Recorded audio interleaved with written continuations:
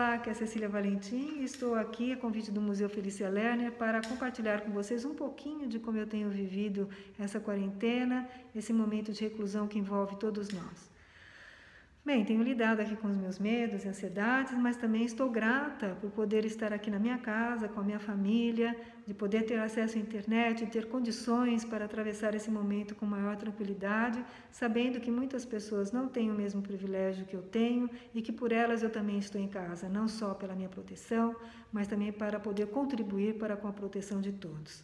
E tenho usado meu tempo para me reinventar, para criar novas possibilidades, para realizar o meu trabalho com o canto, para refletir sobre os meus caminhos, para refletir sobre como essa experiência pode permitir que nós possamos reavaliar os nossos caminhos como comunidade humana e como comunidade planetária. Enfim, tenho também praticado yoga, lido, estudado e feito faxina, né? lá naquele cantinho, aquele cantinho que normalmente a gente no dia a dia deixa para lá, aquele cantinho empoeirado, pretinho, vou lá e também limpo né, de forma mais detalhada e percebo que ao limpar esse cantinho eu também posso estar é, me liberando de poeiras velhas em mim. Né? E tenho criado então esse novo cotidiano, um novo ritmo, né, que eu acho muito importante nós estarmos todos criando. Né?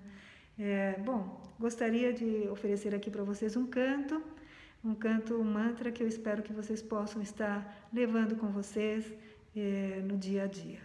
É um mantra de Teresa Dávila, que é assim: Tudo estará bem, tudo estará bem, tudo estará bem,